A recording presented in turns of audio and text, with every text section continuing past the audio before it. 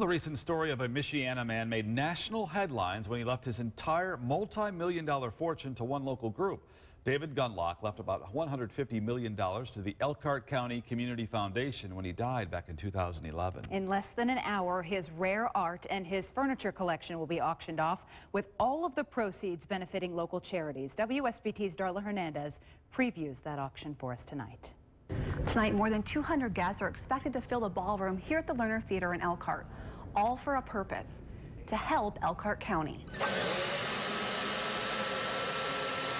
David's gift was a gift to the community.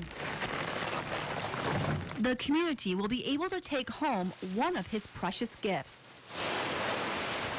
27 of David Gundlach's personal art collection and furniture will be auctioned off to the highest bidder, but with a twist. Those that bid most successfully for the art to name the charity of their choice. So in some respects, we're hoping that a little bit of uh, competitive interest and, and passion for our various charities will accelerate the auction. Craig Gibson with Premier Arts, which is co-hosting the gala, hopes it becomes an annual event with rotating artists with the ultimate goal to transform the area. Really trying to create a community here that supports the arts overall and supports the artist and a really kind of a cool place for artists to come and to want to come and to want to live and want to create their art and their life here in Elkhart County. The Elkhart Community Foundation, which received about $150 million from David Gundlach's estate, will use the proceeds from the auction to continue investing in Elkhart County's future everything from,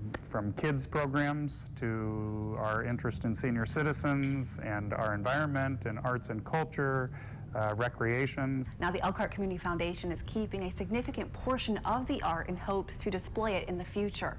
They have with their collection a Picasso, a Renoir, and even a Salvador Dali.